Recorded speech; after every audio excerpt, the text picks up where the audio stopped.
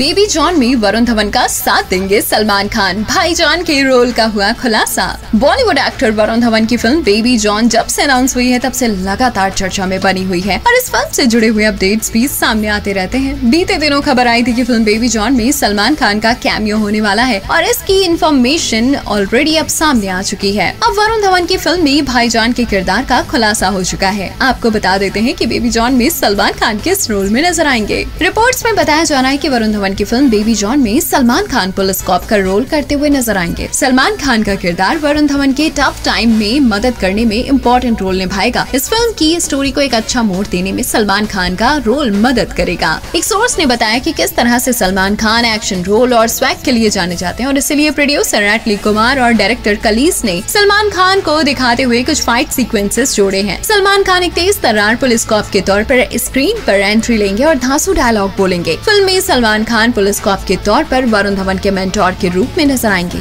Salman Khan film में वरुण धवन के किरदार में विश्वास दिखाएगा और पुलिस फोर्स में उनको वापस लाएगा। कलीस के डायरेक्शन में बनने वाली फ़िल्म बेबी जॉन में वरुण धवन के अलावा कीर्ति सुरेश, वामिका गब्बी और जैकी श्रॉफ नज़र आएँगे और ये फ़िल्म 25 दिसंबर को सिनेमाघरों में रिलीज़ होगी। बताते चले कि वरुण धवन की film Baby John Tamil film Theri की रीमेक है।